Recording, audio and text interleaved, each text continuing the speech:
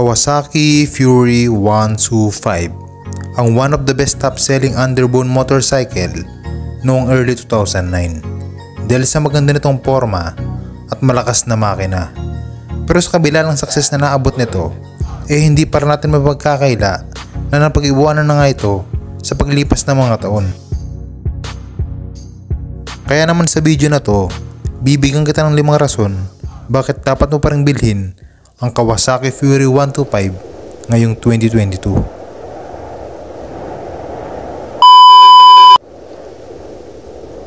At ang unang rason na nakita ko dito is fuel efficiency. Dahil alam naman natin na patuloy ang pagtaas ng presyo ng petrolyo sa ating bansa. Kaya napakalaking bagay talaga kung tipid sa gasolina ang motor na mabibili mo.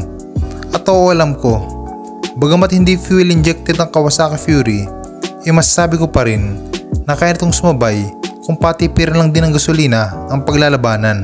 Dahil ayon sa fuel efficiency test na ginawa dito, is kaya itong tumakbo sa 50 to 60 km per liter na talaga nga namang napakatipid para sa isang 125cc na motor. Pero syempre, nakadepende pa rin yan sa style na pag-drive mo. Kung galit ka sa linyador, eh malamang sa lamang malakas ang kaya ng gasolina mo. Pero siguro kahit pumalo ko lang sa 40 to 45 km per liter, eh napakalaking tipid na nun. Kung imposible man yung 50 to 60 nila, panalong panalo ko na dun. At ang pangalawang rason is matibay. Dahil based on my own experience sa paggamit ng Kawasaki Fury, eh masabi kong matibay talaga. Dahil halos nasira lang talaga sa kanya is battery. Ang bilis naman sa karga eh. Kaya ang mapapayo ko sa mga newbie Fury user dyan, eh ipa full wave nyo na agad para all goods na. At ang pangatlong rason is may malaking fuel tank capacity na naglalaman ng 5.2 liters ang laki na nito para sa isang 125cc na underbone. At syempre, very convenient na rin. Lalo sa mga mahilig sa long ride dyan or kahit pa mga delivery rider dahil mas madalang ka na magpapagasolina dito eh. At ang pang-apat na rason is low maintenance.